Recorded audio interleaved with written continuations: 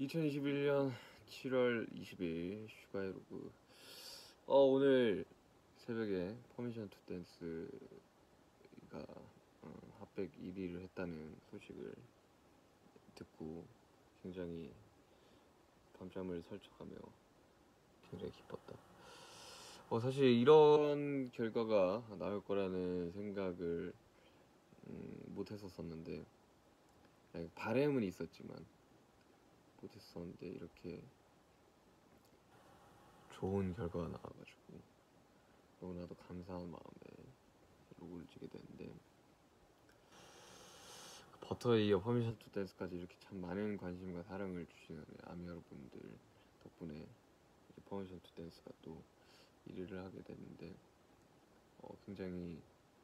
영광스럽고 굉장히 뭐랄까 약간 얼떨떨하기도 하고 부담감이 확실하게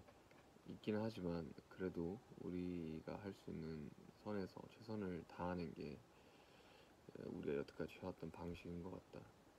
음, 이제 진짜 오프라인에서 이제 아미 여러분들을 볼 수 있는 날이 점점 다가오지 않나 그런 생각이 드는데 하루빨리 그런 날이 오기를 바라면서 아직 다이너마이트, 뭐 Butter, Life Goes On, 어, 뭐 Permission to Dance, ON, 뭐 Black Swan 이런 되게 다양한 곡들을 실제로 오프라인에서 한 번도 이 보여드린 적이 없어서 어, 굉장히 기대가 많이 되고 그날이 빨리 오길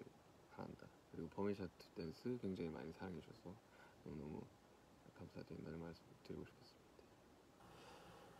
2021년 7월 20일 슈가의